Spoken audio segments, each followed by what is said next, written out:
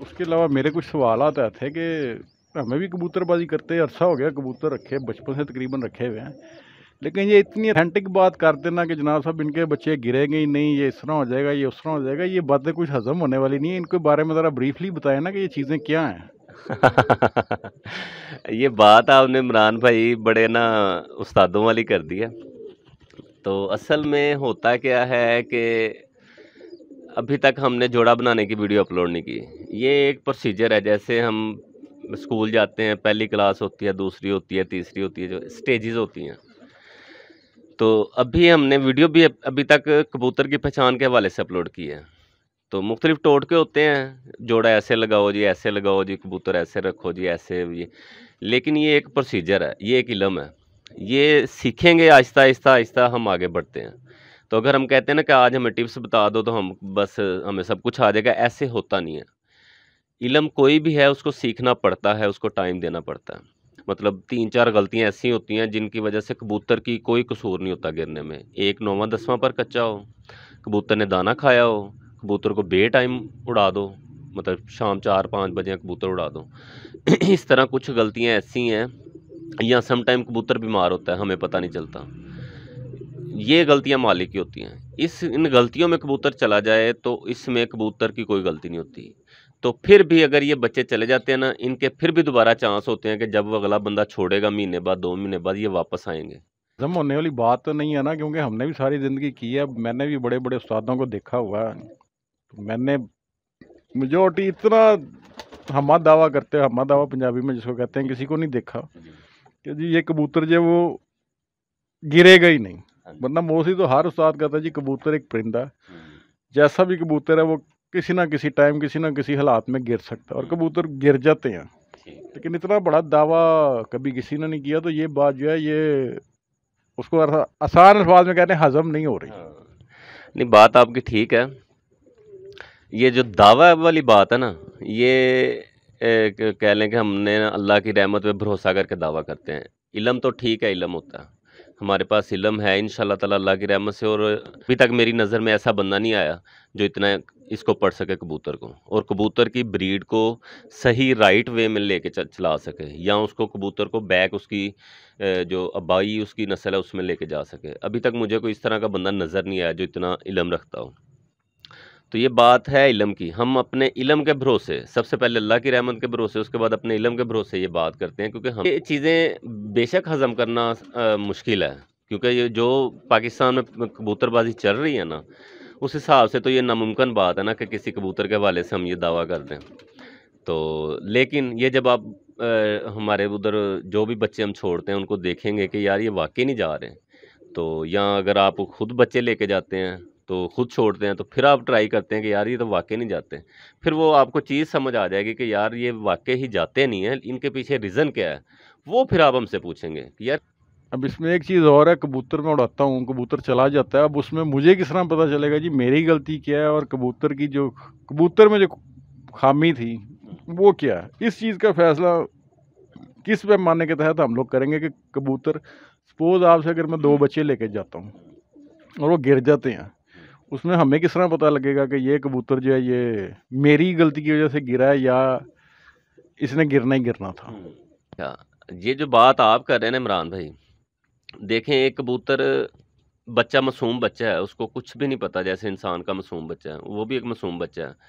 वो जब इतनी मासूमियत में पहली दफ़ा उड़ता है, उड़ के कबूतरों के साथ दो मिनट, पाँच मिनट घूम घाम के इलाका आके घर बैठ जाता है तो इसका मतलब है कि उसमें इतनी वो चीज़ है वापस आने की। वो दूसरी बार भी उड़ता वापस आ जाता है, तीसरी बार भी उड़ता वापस आ जाता है और पंद्रह दिन बाद उड़ता नहीं आता। तो इसका मतलब है पंद्रह दिन बाद मालिक ने कुछ ना कुछ उसके साथ गलती की है। बच्चे के साथ कुछ ना कुछ गलती हुई है तो वो गया है ना। अगर वो उसने जाना होता तो वो पहले दिन जब मासूम था उस दिन चला जाता, जब उसने छत भी नहीं देखी। तो ये बात है। तो इसके अलावा? अच्छा ये जो आपने स्टार वाला पिजन जिनको नाम दिया हुआ है, बेसिकली ये नस्ल कौन सी है? ये असल में इमरान भाई, ये कोई ना चार पाँच नस्लें हमने मिक्स की हुई हैं। टुनिया मिक्स की हुई है, सियालकोटी मिक्स किए हुए हैं, कलसिर इंडिया के मिक्स किए हुए हैं इसमें। और लाखे हैं, स्लेटी हैं इनमें। मतलब जो जो हमें चीज़ चाहिए थी ना, जिस जिस नस्ल से चाहिए थी, वो हमने मिक्स की है इनमें। मिक्स करके मतलब एक जैसे कह लें, दूध लैदा का पड़ा है, चीनी लैदा पड़ी है और बना के हमने एक चाय बना लिया उसको एक नाम दे दिया, ये चाय है। इस तरह उनमें से ये चीज़ें परमानेंट डाल दी हैं। ये इनमें हमेशा ही रहेंगी इन ताला इनकी वापसी और मजबूती जो है। चलें वापसी आना तो हो गया अब इन कबूतरों में परवाज़ भी होगी उस म्यार की जिस म्यार की परवाज़ एक बाजी में चाहिए होती है। हाँ ये बड़ा अच्छा सवाल है जो हमने नस्ल तैयार की है ना वो बेसिकली हमने पाँच और छः बजे के दरमियान की कैटेगरी की की है। अगर आप कहते हैं ना हमें आठ बजे वाले कबूतर चाहिए वो हमने इनमें नहीं ऐड किया हुआ चीज़। पाँच छः बजे की जो इनका म्यार है वापस आने का, वो किसी नुस्खे के साथ है या इनके अपने अंदर इतनी काबिलियत है कि ये उस टाइम पे आएँगे?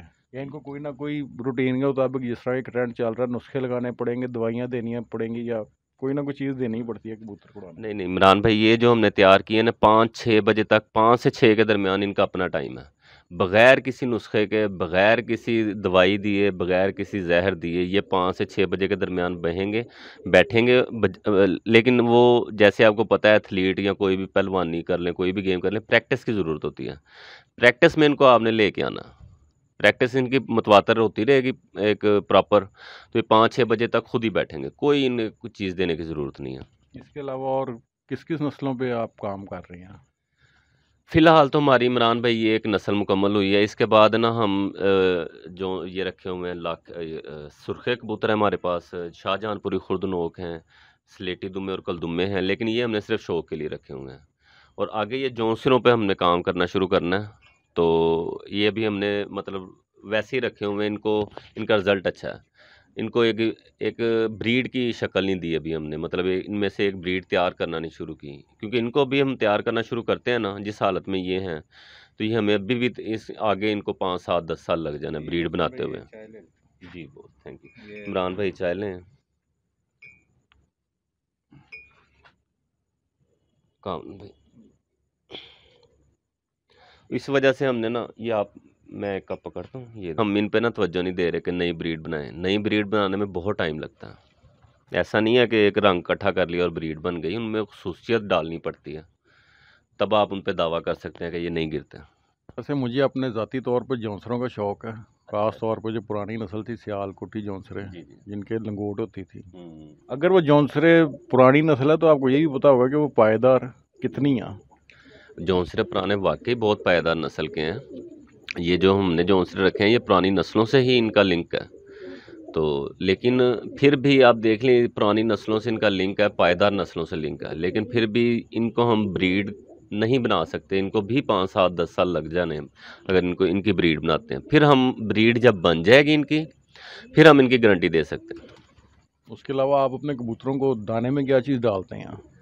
दाया, गर्मी, सर्दी का दाना एक है, या उसमें कोई डिफरेंस है? एक ही चीज़ डालते हैं या मुख्तलिफ़ चीज़ें डालते हैं? ये इमरान भाई जो है ना, मौसम के हिसाब से इनका दाना भी चेंज होता है, इनका पानी भी चेंज होता है, हर चीज़ चेंज हो जाती है। इमरान भाई, असल में ना गर्मियों में दाना हो जाता है, सादा सा दाना होता है, गंदुम, चने, मकई मकई नहीं हम डालते। हैं गंदम चने, बाजरा और वो सरसों वगैरह के बीज ये इस तरह की कुछ ठंडी चीज़ें साथ ऐड कर देते हैं। सर्दियों में हम साथ मोठ सूरजमुखी के बीज, अलसी वगैरह, ये चीज़ें ऐड करते हैं ताकि ये कबूतर फिट रहें। दाना चेंज करना ही पड़ता है मौसम के हिसाब से। और दाने का फार्मूला बना देंगे हमें हम भी उस पर ट्राई कर लें। अच्छा ये दाना उड़ाने वाले कबूतरों के लिए या जोड़े वाले कबूतरों के लिए? ये दाना जो हम मैं आपको आ, किसी वीडियो में ना तफसील से बताऊँगा कि ये दाना जोड़े वाले वीडियो के लिए कबूतरों के लिए और ये दाना उड़ाने वालों के लिए है। इन दोनों का लहदा लहदा एक फार्मूला है। उसके मुताबिक मतलब एक मकदार बहुत अहमियत रखती है। अगर मैं आपको कहता हूँ ना, हम अलसी डालते हैं तो अगर आप अलसी डाल देंगे ना, बेतहाशा तो ये कबूतरों के लिए नुकसानदेह हो जाएगा। तो हम दाने पे ये काम कर रहे हैं, हम सोच रहे हैं कि हम दाना ना मतलब एक दूसरों को बताएँ फार्मूला भी बता देंगे, और ख़ुद भी हम सोच रहे हैं कि हम इसके मतलब सोचें कि हम खुद एक मखसूस मकदार का दाना बना के ना, उनको या पैलेट की शक्ल दे के या जैसे भी भाइयों को सेल करना शुरू करें, ताकि कबूतर भाई कबूतर पर भाइयों को आसानी हो कि यार कब हर दुकान जाना हर दफ़ा जाना कभी कोई चीज़ नहीं मिलती कभी कोई चीज़ नहीं मिलती। एक मुकम्मल एक ही मतलब दफ़ा दाना उठाया और सारी चीज़ें उसमें हो पता हो यार ये इस मौसम का दाना लिया और डाल दिया। कोई टेंशन ना हो परेशानी ना हो।